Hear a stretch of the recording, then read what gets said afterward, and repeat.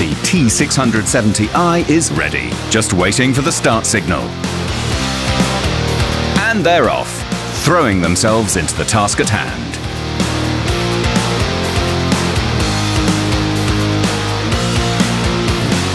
While the combines are putting on their best show, naturally the checking team is also on the scene. Lost control pans were regularly thrown under both machines and then meticulously weighed.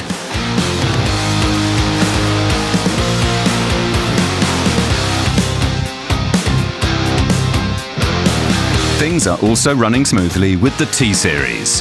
The machine with six straw walkers achieved a grain throughput of occasionally more than 60 tonnes per hour during the late afternoon in the 10-tonne field.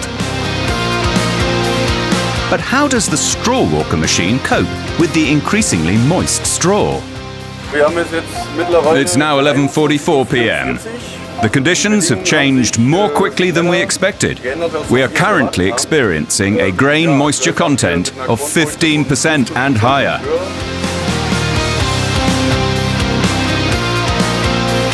With a straw moisture content of more than 30%, the harvesting day is over for the T670i shortly before midnight. In almost exactly 14 and a half hours, the machine harvested a total of 640 tonnes of wheat.